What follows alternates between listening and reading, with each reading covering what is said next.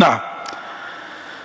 وقال عليه الصلاة والسلام اتقوا النار ولو بشق تمرة. بشق تمرة. يعني ما عندك إلا هذا. ما عندك يا نور إلا تمرة. قسمتها بالنص بينك وبين هذا أبو ضياء. بسم الله. وإن لم يكن طب ما عندك شيء؟ إيه. فبكلمة طيبة. فبكلمة طيبة. يعني اجعل واقيا بينك وبين جهنم الكلمة الطيبة. إن لم تملك شيئا تطعمه. أول شيء بدأ بإطعام الطعام اسمع ولو بشقي تمر بعدين فإن لم يكن فبكلمة طيبة. آه يعني هذا دليل الذي لو عنده كلمة طيبة ما عنده آه إطعام طعام كمان هذا مصيبة بخيل. نعم. وقال عمر رضي الله تعالى عنه البر شيء هين. البر ما هو؟ شيء هين وجه طليق. فريدة وش طلع شو هالبسمة؟ عاص ما شاء الله. وجه طليق. آه فريد وشك حول ولا قوة إلا بالله العلي العظيم. وجه طليق إيه؟ وكلام لين. البر شيء هين. وجه طليق بسمة حلوة. وكلام لين. وإذا معه كمان طعام طيب أطيب وأطيب. وجه طليق أكثر الناس تراهم مقطبين وجوههم. هنا الله يرحمه صاحبك. ها؟ كان كلامه حلو وطعامه طيب. مين؟ أبو محمد عبد النبي أحسنت. الله يجمعنا به في الفردوس الأعلى. يجمعنا في الفردوس الأعلى. أبدا. كان يغضب يدخل المسجد هيك شوف ناس فايتة على الجامع كل واحد. والله يفوت لعندي غضبان زعلان. قل لهم طب لك يفرد وشه لك جاء على بيت الله. لك لبيت الله وحاطط العقدة لك لا بيسلم لا بيحكي كلمة طيبة. لك ما اللوم والله واحد بقيت مدة وأنا شو سيدة دع زو إيه نعم. صهرك أبو زوجتك. مدة أنا وحاكيه من أجل أنه يحضر معنا المجلس. والله استوى. لما نضج وكلنا رجلا يجيبوا معه بالسيارة يرغبوا. والله جاء في اليوم الأول في اليوم الثاني ما جاء. اتصلت به. لك يا حبيبي هي أمنت لك سيارة أجيبك لهون. قال لي مشان الله اتركني قلت ليه؟ قال لي حطيتني مع واحد لئيم. أعوذ بالله. والله قال لي سلام ما سلم علي حامل لك الله أكبر. الآن طلع معك واحد وخص آه. جاء أول مرة لك لك بسمة حلوة هيئ له أكلة طيبة. لك سره والله نفر.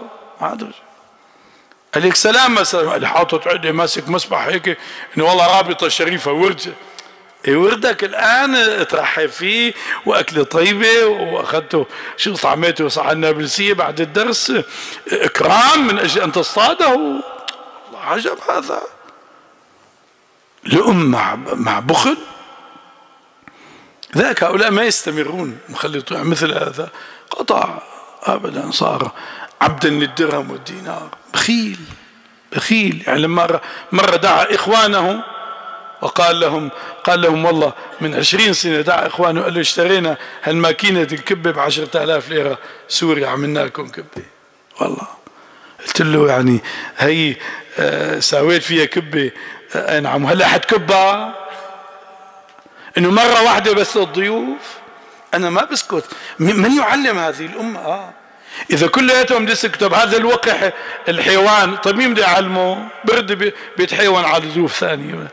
ما عنده حياء هذا مو عيب عندك ضيف آه قول والله دفعنا ولا اشترينا أو تتكلم عن الغلاء ضيوف يأكلون تقول والله شيء غالي وكذا واشترينا. عيب هذا؟ عيب. وين هذه المرأة ماتت هي؟ آه امه شو اسمه؟ لكنجو. شيخ حمدي كنجو هذا المنشد صاحبك. ماتت رحمة الله عليها. كعامية لك عنده فهم. عنده فهم وعنده فن في, في الخدمة عجيب الشكل. عجيب الشكل. كان شيخ زوجها وأولادها من شيخ خلف قولوا خلف اي نعم. من السادة النقشبندية. أبدا. كانت هي صنعت غرفة خاصة في البيت للشيخ خلف خزانة وسرير وألبسة كلها جاهزة مقفلة. ما تفتح إلا للشيخ خلف هذه.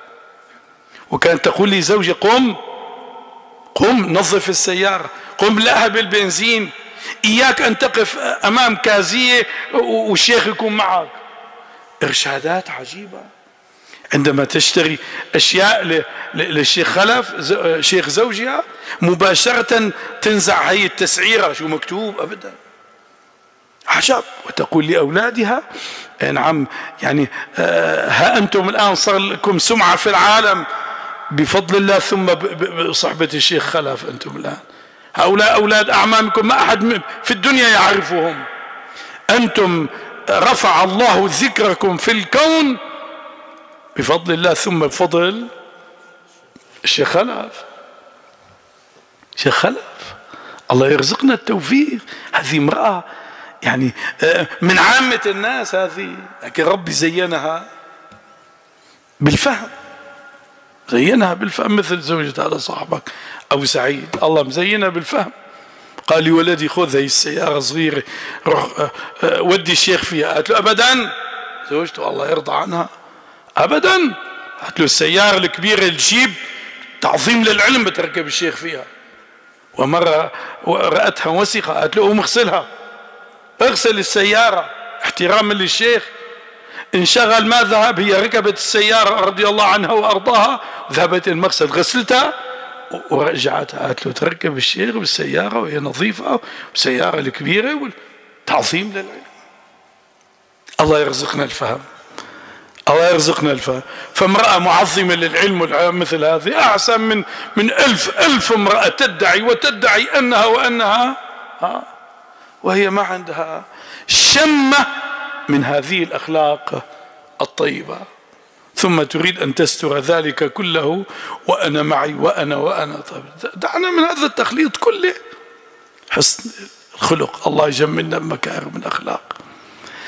وقال بعض الحكماء الكلام اللين يغسل الضغائن المستكنة في الجوارح. يغسلها. كلام اللين يغسل الضغائن إيش في ضغينة كلمة حلوة؟ ها تغسل الضغائن المستكنة الخفية في الجوارح الكلمة الطيبة تخرجها. الله يرزقنا التوفيق. لذلك قالوا التملق شرعا ممنوع إلا للشيخ وللوالدين. قلت هذا البارح على صاحبك هذا الأسطواني قال لي ورب الكعبة ما أتملق. قلت لك أنا ما عملك أنت متملق. أقول شيخنا كان يروي عن السلف أنه بأن التملق بالنسبة لك مو تملك أنت صادق فيه. هذا بسموه أهل الشام تمسيح الجوخ. آه؟ هذا الشرع ممنوع إلا لاثنين لصنفين. للوالدين آه؟ وللشيخ. أبدا